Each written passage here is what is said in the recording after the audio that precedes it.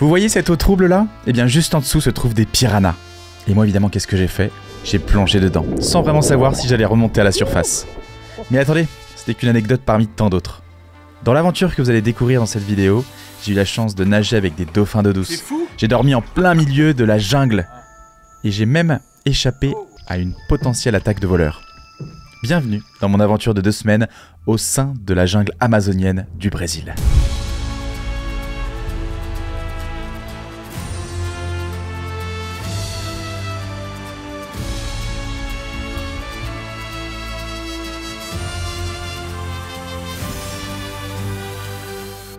L'Amazonie, rien que le nom fait rêver.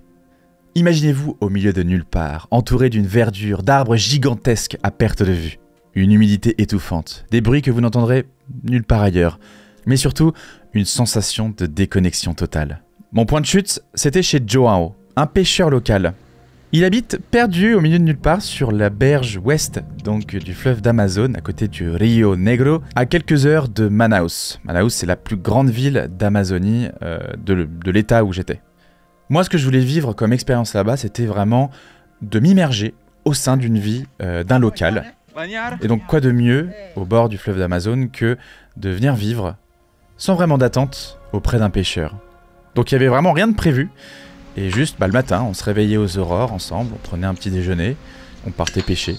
je l'aidais à préparer son filet, à poser le filet euh, dans le fleuve, et puis euh, on attendait que, que ça mort. Oh là là, oh Hein Non, non, non, non, non, não corta mais não. Forte? Tac, tac, tac, tac. Não, né? Aqui, aqui, pega aqui, ó. Ah oui, d'accord. Mais l'un des moments les plus magiques que j'ai pu vivre euh, pendant cette expérience, c'était d'aller nager avec les dauphins roses euh, d'Amazonie.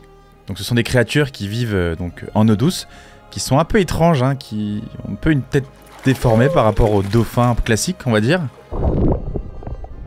On a l'impression qu'ils sortent tout droit d'un rêve, et quand on touche leur peau, alors on n'a que le droit de toucher vraiment leur ventre, eh bien on a l'impression de toucher un peu comme une sensation de cuir mouillé. C'est assez étrange, c'est vraiment une expérience à vivre. Mais le mieux, c'est de les observer de loin et d'éviter de rentrer en contact avec eux. Moi, je l'ai fait accompagner euh, des, villageois et certaines familles se sont installées sur des petites maisons flottantes et proposent donc aux touristes de venir observer les dauphins roses euh, d'Amazonie. Et croyez-moi, être seul dans l'eau, euh, tout seul avec eux, eh bien, c'est une sensation qui est assez unique. Mais l'un des plus gros défis que j'ai vécu là-bas avec Joao, c'était de passer une nuit dans la jungle, dans la forêt amazonienne. C'est parti pour deux jours d'expédition en plein milieu de la jungle. On a pris son petit bateau et on allait se perdre vraiment euh, eh bien dans, la forêt, dans un endroit que seul lui pouvait connaître et accéder.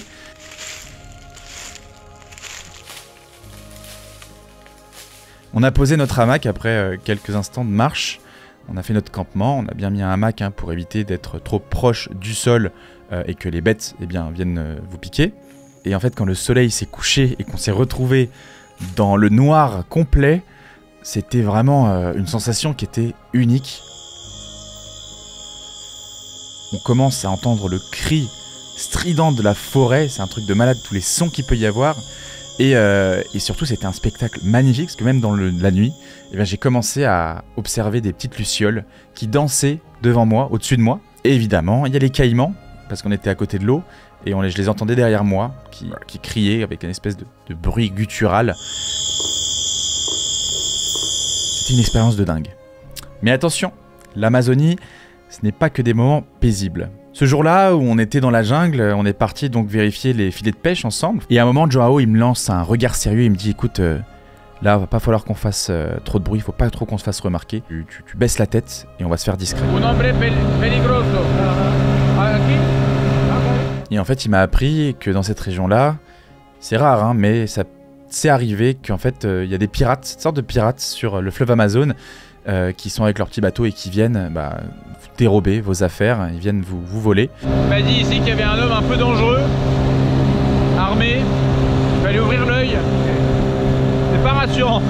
je vous avoue qu'avec ma caméra, mon drone, ma tête de blanc, bah, j'étais pas très serein. En tout cas, je m'en suis sorti euh, vivant de cette expérience dans la jungle, sans trop de piqûres de moustiques en plus. Alors si vous un jour vous rêvez de dormir dans la jungle, voici quelques petits tips pour survivre. Règle numéro 1, euh, toujours avoir une machette. hein. c'est vraiment l'outil indispensable dans la jungle, que ce soit pour circuler entre les lianes et, les, voilà, la végétation qui est très dense, mais surtout aussi couper du bois pour euh, se faire un abri, se faire du feu, ou même se défendre contre, pourquoi pas, une attaque de jaguar. Et ça, j'en doute que vous y échappiez. Toujours dormir au-dessus du sol, jamais sur le sol. hein. Il faut savoir qu'il y a beaucoup d'insectes et de bêtes dans la jungle. Et euh, c'est indispensable de préparer son petit hamac que vous allez attacher entre deux arbres et évidemment de partir avec la moustiquaire qui va envelopper comme un cocon votre hamac. D'ailleurs, en parlant d'insectes, quand on était chez Joao, à un moment, il y a une grosse tarentule noire qu'on a vue euh, qu'on a vue dans la cuisine.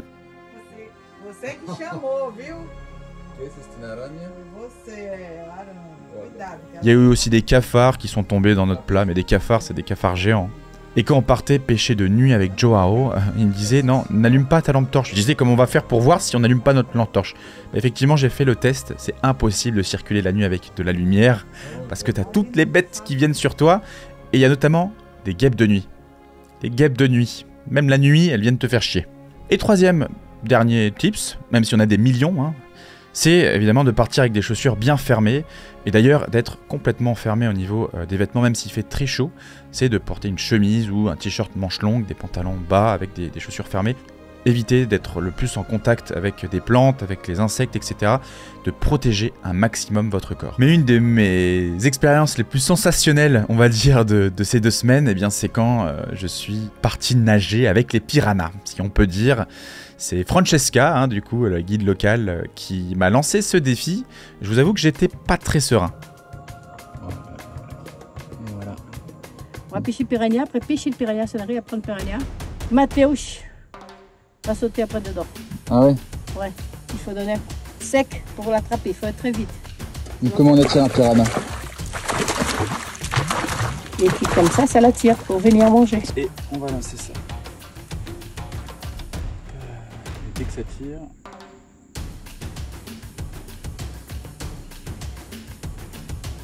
Oh Je l'ai Ah putain c'est un gros, hein, c'est ça Ouais, c'est un gros ça. Pour le fil, Regarde ça.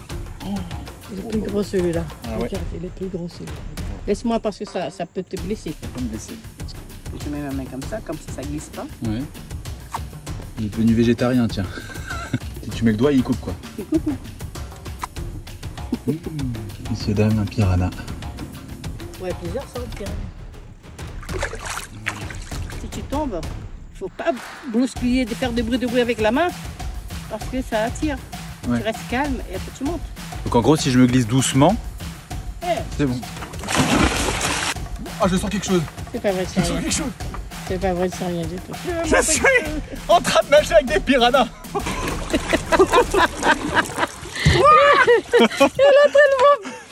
comme tout. Eh, je suis quand même rentré dans l'eau. Donc voilà, c'était un peu les moments forts de mon aventure en Amazonie. Mais on a vécu plein d'autres trucs. Hein. Joao, il a réussi à pêcher un caïman. On est parti observer un soir les caïmans. Il a réussi à en pêcher un. Et du coup, bon, je sais pas trop si ça se dit, mais j'en ai mangé un. Enfin, j'ai pas refusé euh, euh, le fait qu'il Oh qu'il là me le tende, cette nourriture. Hein. J'étais pas chez moi. Donc euh, j'ai goûté. On aurait dit un énorme nugget. Effectivement, c'est très bon. Mais c'était surtout assez surprenant de voir un caïman euh, aussi proche de moi. On a observé une faune et une flore qui étaient euh, tout simplement incroyables. J'ai pu observer des haras rouges, ils appellent ça d'ailleurs les arara là-bas en portugais, une espèce de perroquet très typique de l'Amazonie. J'ai rencontré des indigènes, des, une tribu d'Amazonie aussi, qui m'ont montré un peu leur rituel. J'ai mangé des fourmis avec eux. Ils m'ont montré un peu comment ils construisaient leur, euh, un instrument assez typique aussi, qu'ils utilisent pour des cérémonies. Oui, comme ça. On a mangé des tas de poissons qu'on a pêchés. J'ai jamais mangé des poissons si bons, des fruits aussi bons. C'était des repas très simples, mais avec tellement de saveurs. Enfin, j'avais oublié que bah, y avait vraiment de la nourriture avec cette saveur-là que malheureusement on ne retrouve plus ici en, en France, voire d'ailleurs en Europe. J'ai même assisté à de la pêche au tir à l'arc. Ils pêchent encore avec une espèce de, flèche avec un trident au bout et euh, avec, un arc. Vraiment, donc Joao, il a pas réussi à pêcher, il voulait juste me montrer, mais on en a croisé euh, sur notre chemin quand on se baladait euh, sur le Rio Negro, on en a croisé des jeunes qui pêchaient comme ça. J'avais l'impression de faire un bond en arrière, quoi. Mais moi surtout, c'est le mode de vie de ce pêcheur, de ces pêcheurs là-bas, qui a un mode de vie très simple. Donc certes c'est austère, mais ils ont une vie tellement simple. Et je me suis en fait, en me déconnectant là-bas, parce qu'il n'y a pas de connexion, en me déconnectant, je me suis reconnecté à l'essentiel.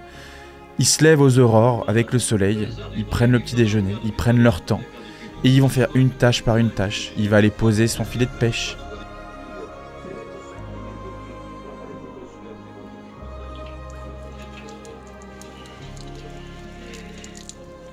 Et surtout, des valeurs.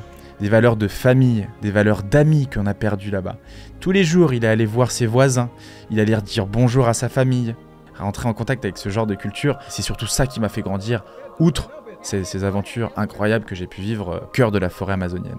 Voilà, j'ai essayé d'être très bref sur cette aventure, mais avant de nous quitter, en fait, je vais vous proposer à vous, pourquoi pas, de venir vivre une aventure avec moi de survie cette fois en Amazonie. Je vous en dis pas plus, mais si vous êtes déjà intéressé, vous pouvez rentrer vos coordonnées euh, dans le lien que je vous ai mis dans la description et je reviendrai vers vous très rapidement. Ah, et au fait, pour la première fois, j'ai écrit tous les jours sur mon petit calepin d'aventure ce que je ressentais, ce que j'ai vécu, euh, pour en faire un, petit livre, mon premier petit livre. Et tu peux le télécharger pour l'instant gratuitement. Je te le mets le lien en description de la vidéo. Comme ça, j'aimerais bien voir tes retours, que tu me dises ce que tu en penses, si je dois modifier certains points, avant, bah, pourquoi pas, de, de le publier en tant que livre. On se dit à très vite pour une prochaine aventure qui vous emmènera en France ou à l'autre bout du monde.